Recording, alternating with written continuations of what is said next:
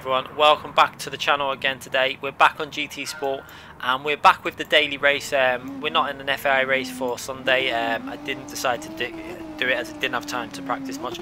So what I did do in the morning was on Sunday, I jumped on for 10 minutes, learnt this track for the first ever time. I've never been on the Blue, um, Blue Moon Bay infield circuit. So I learnt the track quickly, I only got down to 107, then we jumped on very late at night after we had finished editing the um, final race and I quickly got uh, just before this race started managed to get the lap down to a 106.8 um, wasn't particularly confident in the consistency on this track so we've got two races coming up now. This is the first race both very entertaining races. You can see they're starting from P5 um, trying to work our way um, into a better position. So you see start straight away. We're having a little look to see if we can make a move anywhere but we're just going to stick behind this guy at the moment. I'm not going to force a move down this really fast left hand corner um, this is the first time I've ever raced on this track and we're driving for the first time we've ever raced the um, RS01, the Renault. We have driven it in, um, in a um, circuit experience and we tried it out at Suzuka as well. Um, it is a nice car and particularly nice on this track. I really enjoyed it. You can see there we decided to have a little look up the inside line on that um, I think it's a Porsche 911 RSR there, but we couldn't make that move. Then we go a little bit wide there because I, was a bit compromised because I couldn't turn in because that, the um, RSR was there. And now we've got another car on our inside, and just about give him space, but get the move um, to turn in on that corner and fractionally scrape that wall. Um, I think we actually grazed it ever so slightly, and now we've got that Renault RS01 right in our um, gearbox. Um, he's actually down the right hand side now. It looks like he's going to make a move, but he's out slipstream. He's not able to actually accelerate past us. Um, I think he might have been changing gear a little bit late. Um, I found that changing gear at pretty much the end of the rev range was best with this car. So we take a nice tight line into this corner. However, he does a very, very clever move. Goes on the inside. I lose a bit of traction and lose the acceleration. He's now got the inside line for this really fast left-hand corner. So I have to give him space. I back out of it slightly, going down to third gear where I normally wouldn't, and give him that um, corner. He's, he's made that move. I didn't want to fight that and um, cause an incident. So I give him the space that's needed and he's worked his way up to the um, P4 and we're into P5 so have a we'll have a little look now exactly what happened there you can see he's on the outside he holds back very cleverly he gives himself a wider entry point. You can see him already making that on the cut we get a little bit of a loose rear end going over that bump and lose a bit of acceleration. And as a result he gets the um, the, the, right line into that corner. We obviously have to back out of that given that place. We would have been really wrong to try and fight that. So at this point now, I'm just trying to build some consistency up and I'm not driving particularly great. This is obviously my first ever race on this track. And we've done about probably about 15-20 minutes of um, learning the track in the morning and then we jumped on and did, I think we had five minutes left before the race started. We managed to improve our lap straight away. As you can see there, not a particularly great middle sector because we obviously had to give up that position and um, now just trying to stay in the slipstream and look for any opportunity that arises. You know, this is still quite close between um, from the top five. It looks like the leader's got himself a nice bit of clear air um, behind him, so he's just concentrating on the track. Whereas the second, third, fourth, fifth, and ourselves are fairly close. So we've got to be looking in our mirrors and considering where we can make a move and stuff. So you can see we get very close to all the cars up ahead through this corner. We actually scrape the wall again on that exit there as we take the line a bit wide. Going into this really fast left hand corner I have to say I really enjoy this track. Um, it's, it's, really enjoyable the flow of it. Um, I know it's only a very short track. As you can see there we've got a run on this on the RSR 01 now. Going into the tight hairpin I've got the inside line but I can see he's a little bit too far ahead so I don't want to brake too late so I give him plenty of space. I have a little bit of oversteer. Luckily it doesn't catch me out and um, I catch it and we don't come into contact with the guy in fifth place. And we're still trying to we take it too tight a line through there at this point uh, you're going to see the difference on the second race. Straight away after this race we went into another race. And it was really good. I actually just jumped on for two races and both races were able to get um, content on. It you can see there we have a massive moment coming out of that final corner. You can see now look at the way the car's facing the wrong way. We managed to hold it really nicely and just about save ourselves from hitting that wall and losing uh, probably about three or four places to the cars behind so luckily we're still in this race. And like I say yeah I really do enjoy this track. It's such an enjoyable track. We did two races and got two races that were okay to upload to YouTube straight away. They were just brilliant races. I enjoyed them. I really enjoyed this track. So at least we now know this track. So if there's an FIA race in this track we don't have to learn it. We've got the track now in our head. And it's another track out the way. We are slowly getting there with the tracks um, in terms of knowing every track now. And um, starting to realise how to push the car a little bit harder. We're still about, I think we could have got this the qualifying lap down to a 106.5, 4, 5 if we was to spend any sort of time on it. You can see there, um, a guy in fourth place makes a mistake and now we're going to have a look down the outside. He's gone defensive. I'm going to try and brake a little bit late but try and get a wide angle into the corner and try and undercut him if I can. But you can see he's got the speed out of the exit. So now I'm just going to stay in his slipstream as much as possible and because obviously that long straight on the back straight coming out of this corner now there's an overtaking opportunity if you get close enough in the slipstream. So we're going to try and take this in fourth gear try and take it cleanly again we have a moment on the rear end. Um, you can see, you can just see the consistency consistency wasn't here at this stage of the race. And we actually skimmed the wall again so we're not able to get a massive run on him down into the um, fast left hander up ahead now. And like I say such a short lap but such an enjoyable lap. I really like it. It's got fast corners flowing corners and it's got the corners that you're kind of braking and trail braking all the way through like this one and then you're lifting off and getting on the power early and you can run really wide. There's so much overtaking opportunity on this track as well considering it's such a, sort of short track. There is a lot of different lines you can take into the corners and I, I really am enjoying this track last night. Um, like I say we only did two races but in them two races I had some great fun as you can tell um, racing with these guys up ahead. And trying to um, get myself a little bit further up because I felt like once I was up to speed I would be a bit faster than some of the, the these guys in front of me. This was at like half nine at night, I think it was something like that. It was it was fairly late on in, in the night, so um, a few people have obviously been racing all day. We're, this is our first race, and I know that we're going to get our lap times down. As you can see, our, our lap times are coming down a bit, and you can see our sector splits are coming down a bit. And this lap looks like it's going to be a little bit better than what we've done so far in this race. Um, we've only really been in the 108s at the moment because we've been making so many mistakes but now we're going to try and dive in their slipstream as that Porsche in front of us got a big slipstream. It looks like they're going three wide into that corner ahead. This could end in disaster as we go over on a 107.3 and just about um, in front of us a car must have got a penalty and I, I, just saw it really late and just just about got out of the way. I wasn't prepared for that uh, but luckily we did get out of the way and we're into P5 now and we're looking to try and get some more positions. As you can see now we're coming up to this the penultimate lap. This is the penultimate lap now. Um, so just two more laps to go to try and get ourselves a bit further up on the grid.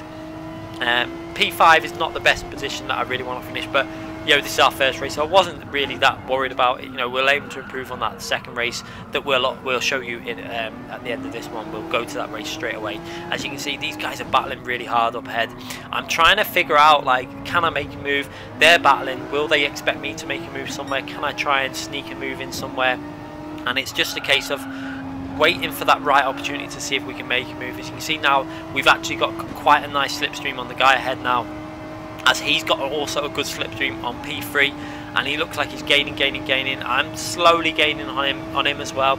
It's we're just all getting closer and closer. It looks like he's going to make a move into his fast left-hand corner. He pulls out to left. He's going to try and throw one up the inside. The other guy stays wide, so I decide to stay really wide and try the undercut. And you can see there we get the undercut and we're staying on the power, just being careful that rear doesn't go. And we've managed to get the inside line into this corner now. Looking at top right replay, you can see we slot in the gap just perfectly in between them two cars and we've made that move really nicely and now we're looking on the final lap can we get ourselves into P3 unfortunately he gets a better exit out of that corner than we do. We're coming into the braking zone for this um, tight hairpin and we get a little touch on the rear of our car. Um, I only slightly very felt it very slightly and again we've got a penalty through someone hitting us from behind in a tight corner. Uh, it, it, it's not good this um, it is so frustrating but it, luckily it doesn't seem to have affected the result as you can see there now. Um, going down the start straight um, nothing seems to have been affected in terms of our, our finishing position. So luckily for us the result hasn't been changed but the guy ahead looks like he's got a penalty as well for something. Um, so we I went to go on his slipstream and then suddenly um, he slows down. So you can see there we still end up fourth. It looks like he only had a second penalty. So unfortunately we also got a second penalty as well and it's a bit it's a shame that that happened. So what we're going to do is now have a little look at that incident and see why we got the see what happened for us to get that penalty because we I felt like I was too far ahead of the guy behind me to get a penalty there. So we have a little look. We make that inside move there really nice move this over. Did like that. He had to back off because of the car in front. I slot into the gap that's made there. So I've made a nice clean overtake. Going through this corner. We're going into the tight hairpin now. We're going to look back and see what has actually happened now. So we're looking back and you can see there he's quite a distance behind. He's outbraked himself trying to defend that line. He's bumped into the rear of our car and we've been given a penalty for this. So another, more evidence there for anyone that tries to defend the current penalty system, because there are people out there still defending that system, saying it, it's fine, it's how it should be. If you, if, if you want to argue that, then please be my guest and argue that one. But um, you can see there's still issues with this penalty system, and um, luckily um, we still got P4, it was only a second penalty. So starting the next race, you can see this time starting from P4, um, we still got three cars ahead of us that were in that previous race. And this time, we're going to try and try our best to get a better result this time. I felt like I had the consistency at the end of that race. I felt like I was getting there, um, starting to understand how I need to race in the race. So this time, we're going to go a little bit more aggressive and try and get some faster laps in and push for a better result. So lights are out and it's a go and you can see now straight away I'm going to go into that slipstream and see if we can make a move um, fairly early in this race. As you can see there they, they're all getting very close. You find that it bunches up very quickly with this straight there and these fast corners. So they go into the corner. Looks like they took that corner really slow. I get quite a nice line. I was looking down that right hand side. Was I going to go down the right hand side? I thought I'd go down the right but then I had to lift back off because they made a mistake. Then I take a nice tight line in that corner. It looks like they've made a mistake there. I go down the inside and somehow we get ourselves into P2 there was three cars going into one corner there and somehow we managed to get ourselves through that without us crashing or getting a penalty. It's, it's an amazing thing to happen on the game. Um, we didn't actually get a penalty. So you can see going into this corner now I didn't kind of know what to I just had to keep my foot down. I was looking back and I didn't expect the gap to open up that much. You can see there look at this now our car's sliding they're into the gap and then I actually thought I took them out in that in that instant. But now what you're going to see now is it wasn't actually me. I didn't actually come into contact, and that's why I didn't get a penalty. P2 goes for a move on P1. Um, P1's in the yellow car there, and they come into a bit of contact. This then pushes P2 a little bit. What you see there, that little bit of contact pushes P2, and I think that move was fair. He had the right to go for that move. P2 should have given a little bit more space, I think, there on the entry into that corner. But he then, not because of that contact, he's knocked himself wide. You can see his car's obviously sliding a bit. He's going over to that grass. He's getting slowly more over to that grass. And then as he's going to put the power on, his rear tyre is going to clip that little bit of grass. And then there, look, just there, he's clipping that grass. He's put the power on and his car's starting to slide now. Look at that. His car's going sideways. The car behind him is going to come into contact with him because he's sliding. So they have a little bit of a touch, and then you're going to see my car just creep down that left-hand side and take advantage.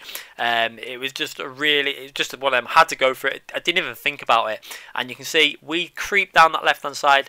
There's no contact that we've made. It's all between them two and because of that contact he then starts sliding. So it wasn't me that actually did that. Um, I was a little bit concerned after after the race when I saw in the mirror that he started sliding. I thought I'm gonna have to check the replay. And when I seen this I was happy that it was a, it was a perfectly clean move by myself. And then these two just came into contact. And it was it was basically started from the move made on that other corner by P2 into P1 and P1 obviously not given the space. So luckily we've actually amazingly done a move got through something like that without a penalty. So we're now into P2 and we've actually got a bit of luck for a change. And now we're going to try and show what speed we've actually got. Um, the first race I wasn't able to do it. So this race we're going to try and get a lot closer to this guy now and see if we can get ourselves in the lead as soon as possible so we can start putting some clean laps in and try and get some consistency because the first race I wasn't really able to um, build any consistency up and get my race pace um, consistent so now we need to try and get past this guy and then we can start concentrating on some consistency. So going into this turn one, this is an opportunity to make an overtake all the time. Um, we're going to go in fairly deep. You can see there, we decided to go quite wide. I get a really nice cor corner entry. You can see I get a lot of grip on that entry point. I get on the power really early. We've got on the inside of him. And then going into this corner, we've got that position sorted. We're into the corner and then we get bumped from behind uh, again. And surprise, surprise, we get the one second penalty again. Um, it's becoming the norm this now, so it doesn't surprise me anymore. But um, we'll have a little look at what happened there. So looking behind now, you can see I take that corner really well. I pretty much hit the apex perfectly, get on the power nicely. Look at the bet that I got such a better entry into that corner. We're ahead at this point. He then obviously takes a wide line, gets a good exit, but then just clean drives into the back of our car, which you can't do. You, you, you just you can't do things like that in races. You need to be more cautious than that. He's got a penalty as well, but we get a one second penalty as well. I'm not going to take that one second penalty, obviously. I'm just going to drive around and try and stay one second ahead of the guy behind at all times. Um, I know the guy behind was fairly fast on this track in the race, um, not the one that we just overtook, but the other guy that's behind, behind him. It was a guy we was racing, and we got that move made on him in, in the last race just at the end. So you can see there, we're already doing a reasonably okay first lap. After the obviously the first lap is um, going to be slow, but the first proper lap. So we're going to go over the line. I think it's going to be a 107.4 or 5 or something like that, which is not a bad lap. Um, obviously, we've got more potential, but we had that overtake in that where we got a little bump from behind and it disturbed the lap a bit. So already about a second quicker than what we was at the same stage in the previous race. So we're definitely making progress. I can feel I feel a lot more confidence. We pushed the limits really. I don't think we actually hit the wall there. We came very, very close, but we just got away with it. And then into these really fast flowing corners. We're purple again with over nearly three temps, well, two, two temps um, over up on our previous lap. That's obviously because we got hit on that previous lap where we lost a bit of time. And then braking nice and early for this corner. Try and take a nice tight line, lift off the throttle, let it coast for a bit, and then put the power in slowly. You've got to be careful with this RSO, RS01 as you put the power in it does have a tendency to lose the rear end if you're a little bit aggressive. It, it, drives very, very similar to the 911 RSR, I think. It's not much different the way they handle, but the gearing on this is a little closer together, so you in some tracks this car is really suited for example Suzuka you're able to really work the gears and get some speed through the corners because you can go in preferential gears to get better acceleration stuff and that's why this car is so strong on Suzuka because of the gear ratios. So you can see there we're already in 6th gear whereas in the Porsche you'd only be in about 5th gear at this point. You wouldn't be going into that 6th gear. So going through this corner again trying to keep it nice and tidy. We're running a little bit wide again and luckily I think we just about missed that wall again. We might have skimmed it, but you know, if you're not getting that close, you're not pushing the limit. So I wasn't too worried as we go over oh, nearly two tenths up on our previous best lap. You can see lap three was a 107.6, so I think we might have slightly skimmed the wall on the exit of that final corner. That corner was probably the trickiest corner for me it's a corner I do need to um, try and get a little bit more consistent at taking well. I did find in this car as I was going forward, it was just getting a bit understeery, so we'll work on that the more we race this track. I'm sure we'll get that 100% consistent as we go through that last sector split, second sector split, sorry, uh, purple sector. So this is going to be the fastest lap of the race if we can get that final corner sorted, which we seem to do reasonably okay. We didn't get the most speed out of it, but we did it okay. And we're going to see what this lap is going to be as we go over the line. It's a 106.9, so you can see straight away there.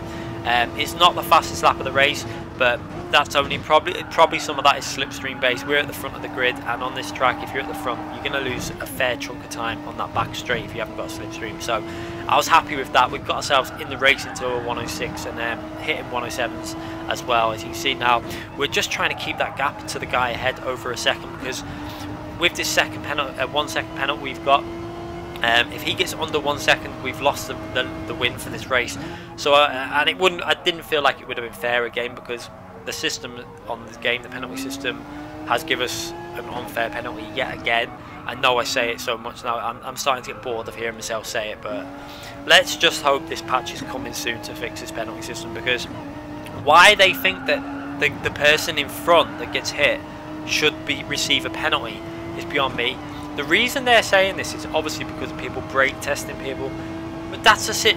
If, if you're in a braking zone and someone hits you where you need to be braking, it, they, they can't be doing this. It, they need to really have a look at their system and what they're... I mean, I don't understand why they even came up with the idea of having the penalty system to the person that braked for a corner and gets hit. That should not happen. But not much you can do about it. I don't think there should be any penalty for that. I think what they should do is just give a, a strike system like iRacing. That's my view anyway, so you don't get a penalty. You just build up a certain amount of strikes, and if you hit a certain amount, you're disqualified from the race. It'd make more sense. You'd keep the racing, you'd keep um, good fun racing together, and you wouldn't get people getting penalties all over the track. So you can see now we've actually lost that one second lead. Um, it's down to under just under a second, and we've got to try and build that up. So the main aim was to take this corner really well, get on the power nice and early. And um, we got a little bit of oversteer coming out the final corner. We're actually a 10th up on our best lap, but I need to take this final corner really well. I push it really hard. We came close to skimming that one. Not sure if we skimmed it, but um, we might have possibly skimmed that one. We're only seven tenths ahead going over the line. You can see I'm going to start going defensive. I'm weaving around, um, trying to get rid of that slipstream, so that's not going to help our lap time out. But I wasn't too worried as we go over on a 107.5. So I mean a 107.1, sorry. So another really consistent lap, and you can see our laps have been much better in this race, a lot more consistent and now we're just trying to push to get that over one second we've got to get that lead past one second to get the victory in this race as you can see now I'm going to start pushing fairly hard through these corners now down into third gear try and take a nice early entry point get on the power as early as you can you can see I was on the power really early there and we've actually got the lead up to nine tenths and it's over a second now it looks like the guy behind may not have pushed it hard enough through that final corner he's up to 1.4 1. Point, no 1.2 seconds nearly going through the final few corners now we've just got to concentrate as we're now yeah 1.4 seconds ahead. Try and concentrate and see if we can just keep it clean all the way to the end. This final corner, I wanted to try and still get it clean and I'm fast, but it's such it's just a corner can catch you out any opportunity. You can see there we run a little bit wide, scrape just scrape down that right hand side. We lose a bit of acceleration, but it's not going to be enough to rob us off this win. Um, looks like we're going to get this win fairly just by a matter of tenths. So let's have a little look.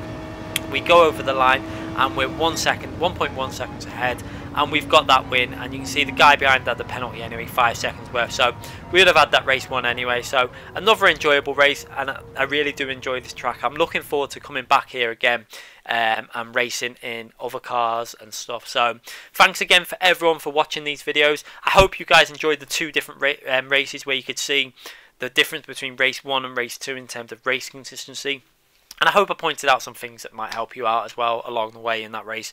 Um, make sure you subscribe to the channel if you haven't already subscribed and click that notification button so you don't miss any future videos. We're going to be back with more GT Sport races, more um, Assetto Corsa and Project Cars 2's videos and we're going to be trying to do up FIA races as much as possible and stuff. So thanks again for watching everyone and we'll be back very soon.